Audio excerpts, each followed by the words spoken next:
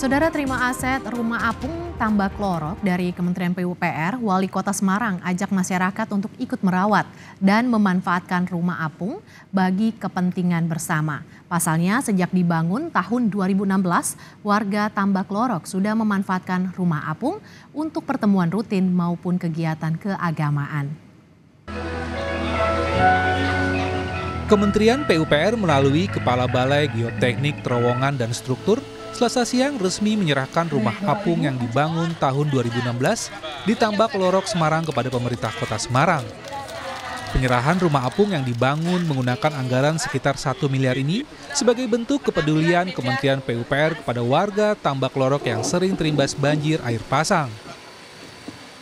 Rumah apung yang difungsikan sebagai tempat pertemuan maupun tempat bermain anak-anak ini setelah diresmikan diserahkan oleh Kementerian PUPR akan melakukan pembenahan agar bisa lebih bermanfaat bagi warga Tambak Lorok Semarang.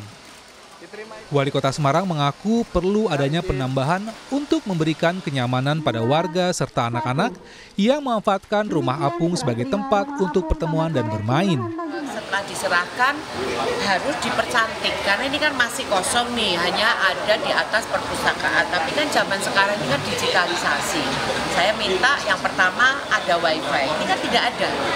Jadi ya orang mau ke sini paling yang datang anak-anak yang mau cuma baca lihat apa foto apa eh, buku-buku yang anak-anak saja tapi yang lainnya kan tidak bisa dimanfaatkan dan yang kedua juga perpustakaan ini juga jangan hanya buku saja buku itu aplikasi yang orang bisa baca.